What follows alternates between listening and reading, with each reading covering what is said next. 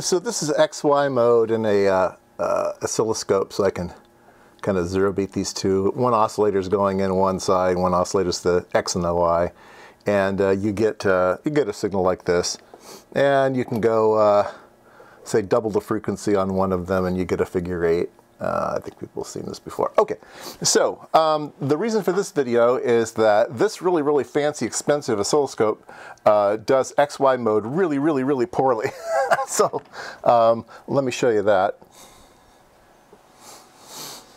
Okay, uh, so here we have the same uh, same display on a uh, Rigol MSO 5000 type scope.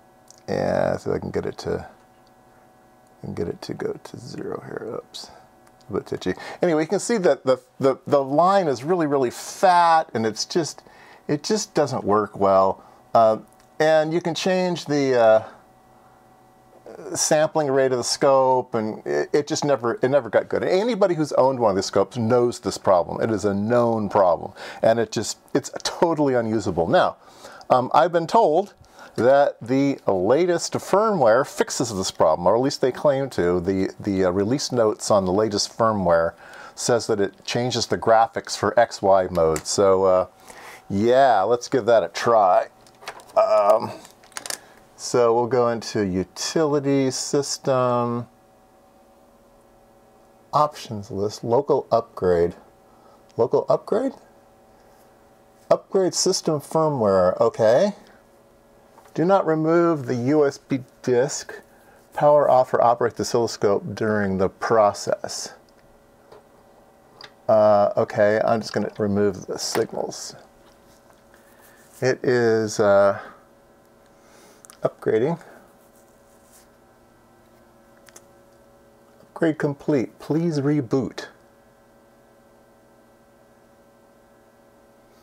Okay, I think by reboot they mean uh, turn it on and off.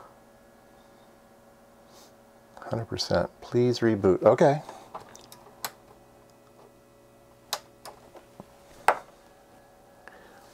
Um, you're supposed to do a self-cal after this as well um, because it changes some other things about the DC gains and stuff, I think, if I read the I've read the release notes correctly. But I just want to try this out quickly to see if XY mode is fixed, and then I'll do a self-cal off camera and I just want to let you guys know this was now available and we'll see if it actually uh, is worth doing or not.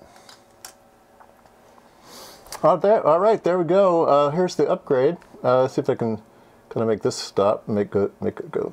Uh,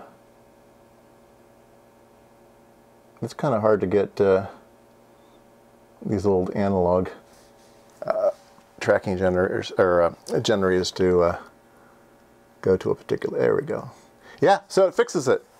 So there you go. If, so if you own one of these MSO 5000s, definitely upgrade the software. Definitely, definitely. I think it came out in October or something like that.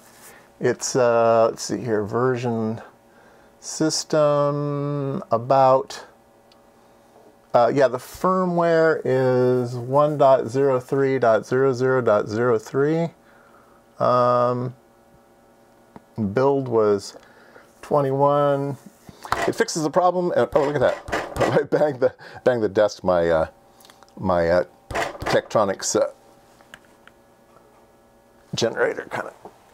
I'm using this. Uh, I'm using this generator down here, and uh, it's just an analog one. And then I'm using my uh, synthesized one there, so it's spot on. But yeah, here we go. Looks great.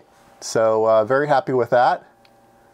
And uh, yeah, where's the upgrade?